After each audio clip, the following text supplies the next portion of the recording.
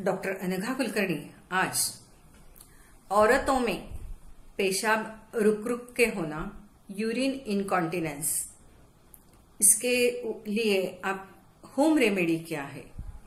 इसके ऊपर मैं आज बात करूँगी। मैं एक आयुर्वेदिक डॉक्टर हूँ। तीस साल से मैं प्रैक्टिस करती हूँ। तो इसीलिए मैं आपको पक्का बताना चाहूँगी कि अगर ये यूरिन इनकॉन्टिनेंस इस सिचुएशन से आप गुजर रहे तो कोई घबराना नहीं है। पेशाब अगर आपको रुक रुक के होती है तो बिल्कुल टेंशन मत लीजिएगा।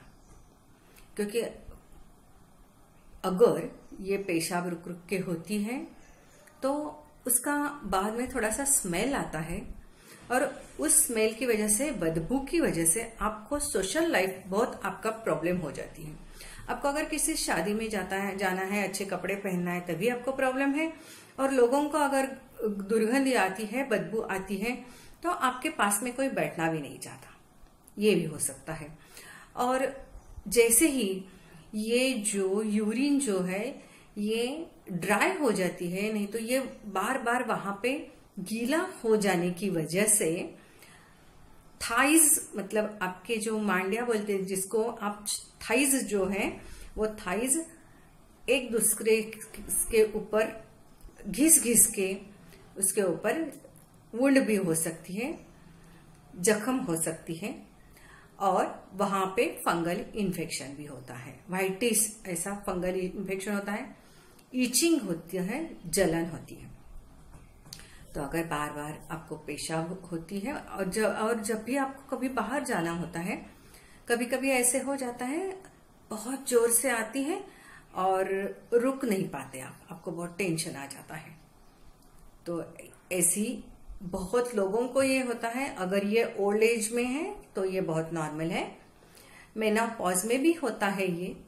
कभी कभी शादी होने के बाद लड़कियों को होता है, और कभी कभी जैसे ही मेंस्ट्रुएशन चालू होता है, तभी उस उम्र में भी कभी कभी लड़कियों को ये हो सकता है। इसका कारण, सबसे पहला कारण है हार्मोनल इम्बैलेंस है। दूसरा कारण है मेंटल स्ट्रेस तीसरा कारण है वीकनेस मतलब खाना पीना अच्छा नहीं खाना विटामिन डिफिशियंसी और एक मैं आपको कारण ज़रूर बताऊँगी, वो है ठंडी। मतलब बारिश के दिनों में वगैरह ये ऐसा हो सकता है। और आपके अगर अंडर गारमेंट्स जो हैं, वो वेट रहते हैं, गीले रहते हैं, तभी आपको बार बार पेशाब आने की भावना हो सकती है, पेशाब होती है, क्योंकि वो ठंडी, वहाँ पे अगर ठंड लगती है बार बार तो पेशाब होती है रुक रुक के पेशाब आती है। तो उसके लिए मैं आपको बता दूँगी कि आपके अंडर गारमेंट जो है, वो ड्राई होने चाहिए, दिन में दो तीन बार आपको वो बदलने चाहिए, चेंज करने चाहिए। और एक बात, आपके पेट में आपको क्या खाना है, मैं आपको बता दूँगी। देखिए, अगर आपको बार बार पेशाब होती है तो इसका मतलब है मसल वीकनेस है। वो पेल्विक के मसल्स भी है और यूरिनरी ब्लैडर के भी मसल्स है। तो आजकल बहुत ज़्यादा क्या होता है सीजर होता है, कोई ऑपरेशन होता है तो उसकी वजह से भी ये बार बार पेशाब होना चालू हो जाता है। तो उसके लिए आपको फ्लैक्स सीड्स सीसम सीड्स अजवाइन सौंप और अमला सुपारी ये पाव पाव चम्मच पाँचों लेने हैं। उसको आपको भुनो नहीं, भुनने नहीं है, रोस्ट नहीं करने हैं और इसको आपको चबा चबा के खाना है। इसकी वजह से आपके शरीर में स्नेह भी बना रहेगा, आपका मसल टोन भी अच्छा रहेगा। क्योंकि अगर मसल टोन कम हो जाता है, वीक तो वीकनेस आता है मसल्स में, कैल्शियम डिफिशियंसी होती है, तब भी ऐसे हो सकता है।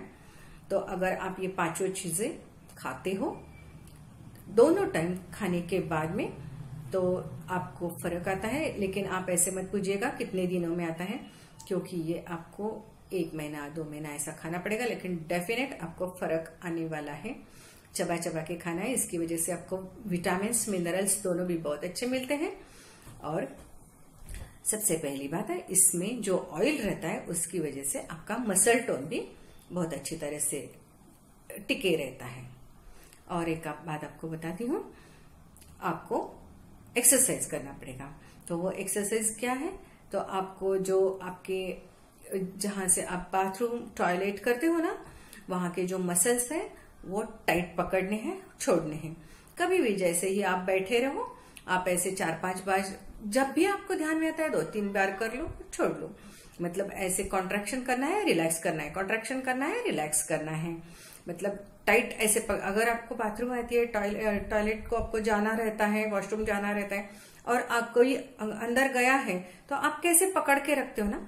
वैसे पकड़ के रखने सब आपके मसल्स ऐसे आपको जब भी ध्यान में आता है ना तब दो चार बार करना करना दिन में दो चार बार ऐसे कितने ही भी बार आप करोगे तो भी चलेगा। उसकी वजह से भी आपका मसल का टोन बना रहेगा। इतना ही आप कर लीजिए। मेंटल स्ट्रेस बिल्कुल ना लीजिए, मेंटल स्ट्रेस की वजह से भी ये ऐसे हो सकता है। और एक बात, अगर ये ऐसे होता है तो आपको सैनिटरी पैड्स यूज़ करने चाहिए। क्योंकि अगर आप सैनिटरी पैड्स यूज़ करते हो तो आप बाहर जाने के बाद अगर लीक भी हो जाती है यूरिन तो उससे बदबू नहीं आएगी और वेटनेस की वजह से आपको इन्फेक्शन नहीं होगा। इतनी बात आप ध्यान में रख लेना। और ये जो यूरिन इनकॉन्टिनेंस है बार बार पेशाब रुक रुक के होना, इस, ये जो सिम्टम है, इससे आप मुक्त हो जाएँगे। अगर आपको ये वीडियो अच्छा लगता है तो लाइक